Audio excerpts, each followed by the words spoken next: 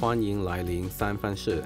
在你展开愉快旅程之前，我们想提醒你一些安全事项：安全泊车。泊车后，请不要把任何财物留在车内。观光景点时，请把财物随身携带，无论是珠宝、护照或行李，都不要把它们留在车内。护照及个人物品应随身携带，应先把行李寄存在旅馆内。依照这些安全指引，可让你心情安心愉快。